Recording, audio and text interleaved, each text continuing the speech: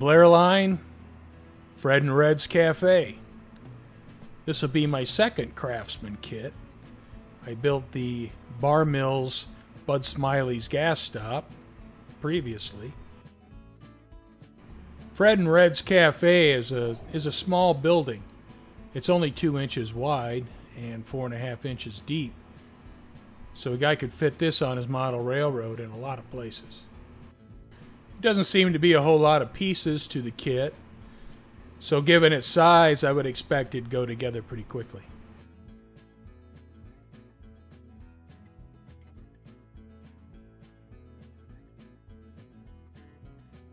The instructions are really good. They were clear and easy to follow, and I didn't have any trouble putting the model together.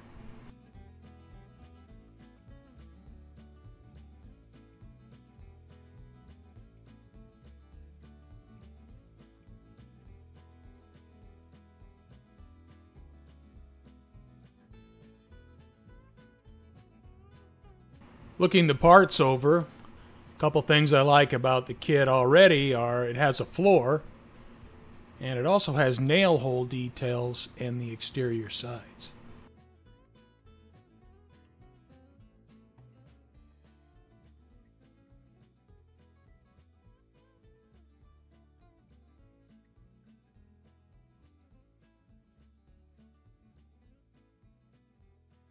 I painted the main structure components with rattle can spray paint. And I'd paint one side and let it dry for half hour, 45 minutes, then flip the parts over and paint the other side. So both sides of the parts been painted to try to head off any warpage. While the paint on the main structure parts was drying, I painted some of the smaller pieces. And here I painted the, the door parts with red craft paint, and I just squeezed a little red craft paint out onto a palette, took a brush, and applied it straight from the tube. I used a dark gray acrylic paint and painted these window frames with an airbrush. Now that all the paint is dried, I have some of the parts gathered up where I can start putting a few things together. I attached the window glazing to the window frames using Formula 56 canopy glue. Uh, one nice thing is the Blair Line kit, the window glazing is all pre-cut, so you don't have to cut your own. You just uh, have to cut a few of the tabs, and then everything's cut to size. I have the windows installed, and they fit perfectly. No trimming was required at all. They slid right in, and I tacked them in with canopy glue. The gray door casing is peel and stick, so once I removed the pieces from the sheet, I just took off the adhesive backing and stuck them to the door openings. Next, I installed the back door, and I secured the door in place from the inside of the part with a few dabs of canopy glue. The inner and outer pieces of the door have adhesive backing, so I just peeled the backing off the outer decorative part of the door and attached it to the inner part of the door. And the uh, window glazing was just tacked in place with canopy glue. The gray trim for the front door has an adhesive backing, so I stuck that in place, and then I set the front door in place and uh, attached it using some canopy glue from the inside. Once the windows and doors were installed, I then uh, put the main structure together. And I used clamps to make sure it was all put together nice and tight, all good and square.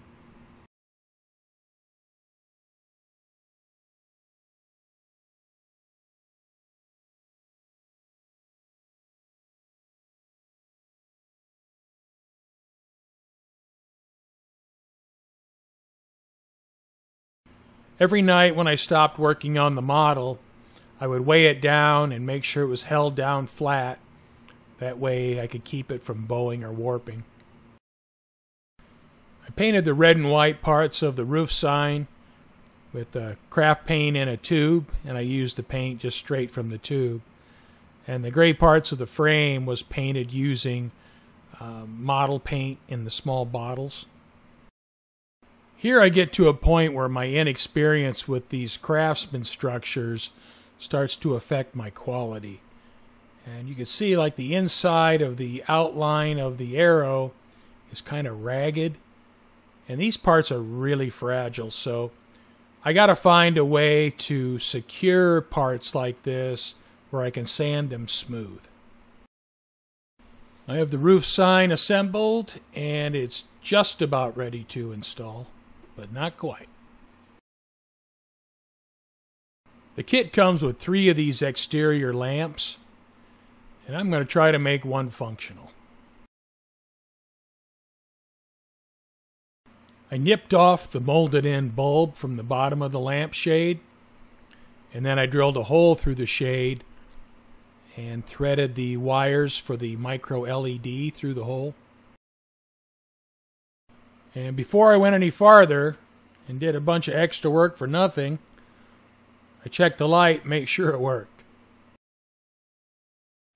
I glued a small piece of wood square stock to the back of the sign, and then I attached the lamp to that piece of wood. After that, I proceeded to route the wires, try to make it routed neatly down the back of the sign. I added two micro LEDs to the interior of the structure, and I just attached those to the walls with canopy glue. Since I had the big EAT sign on the roof illuminated, I figured I should try to illuminate the open sign on the side of the building. I glued some aluminum foil to the solid piece of the open sign. I figured the aluminum foil would act as a reflector and spread the light more evenly. The kit came with two laser cut opens, and each side of the sign was supposed to get one. I decided to remove the letters from one of the pieces, and you can see the letters in the upper left hand corner, and I used that piece without the letters as a spacer. I glued a micro LED to the inside of the remaining open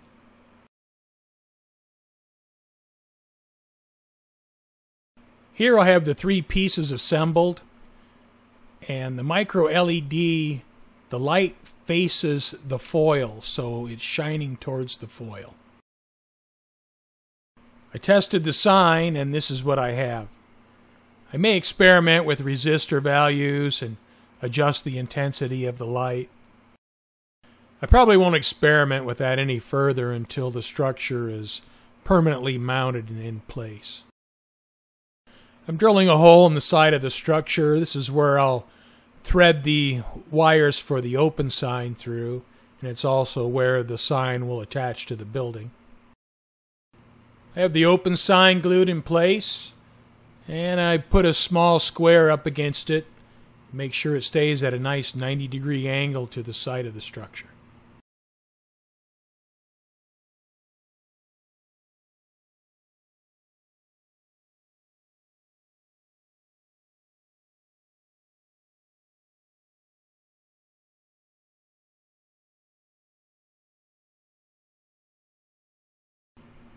Well, I scoured the internet, found a couple classic kitchen and restaurant interior photos that I thought would fit into this building.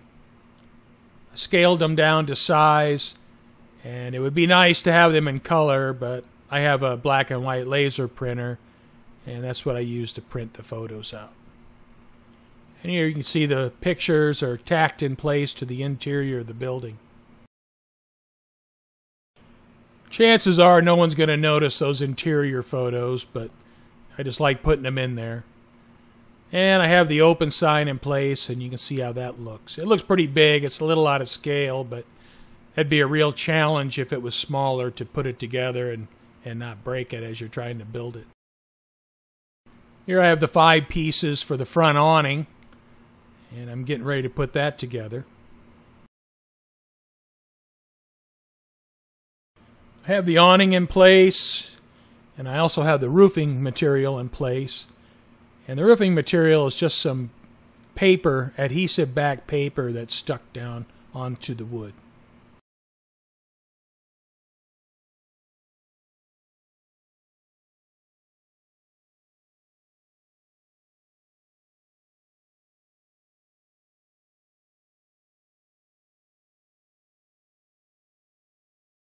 I soldered extension leads to the LED wires, then I heat shrinked all the solder joints.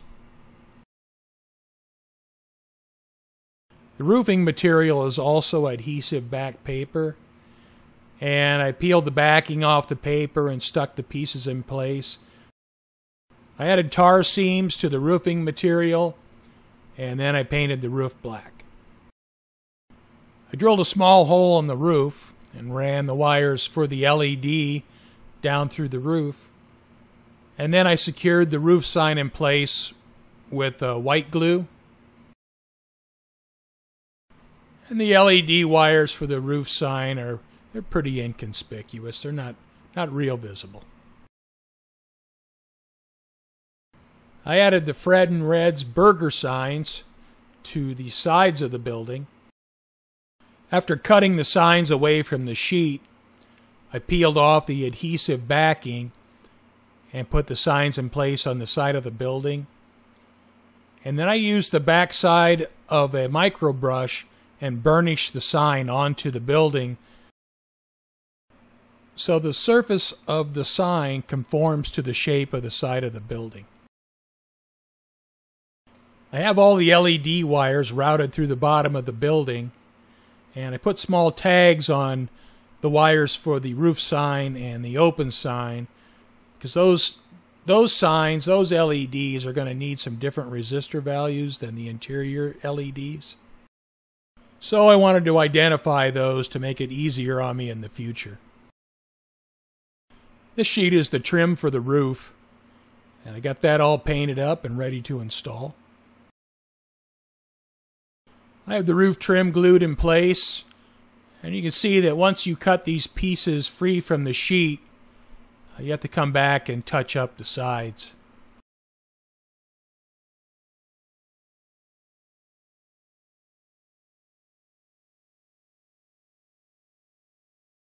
I have my roof tar done, and I also have the exhaust stack for the grill in place.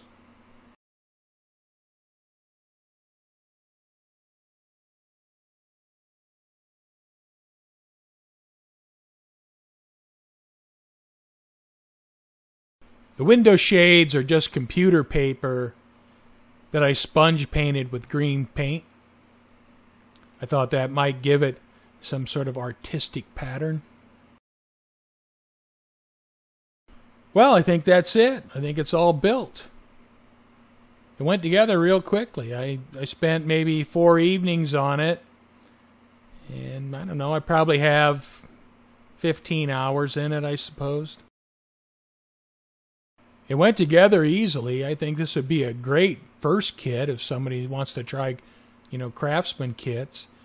I think my finishing skills for these craftsman kits needs to come up a little bit. I think I could do a better job finishing the model and making it look a little more polished. So that's something something I'll do in the future.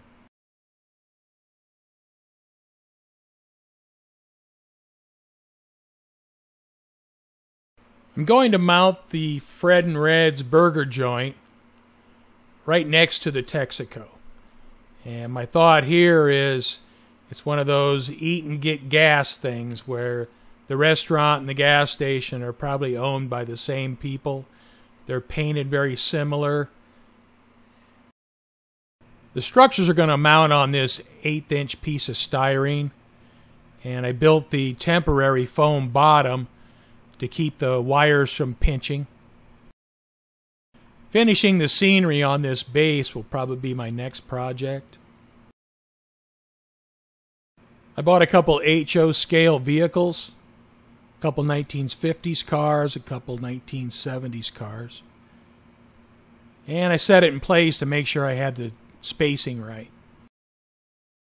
Well, that's it. The Blair Line Fred and Red's Cafe. It's a good kit. Went together really well. The instructions are good. I think it'd be a great entry kit. If somebody wants to try Craftsman structures, I think this would be a good one to, to start with. Uh, my finishing skills need to improve, and that's something I'll work on in the future.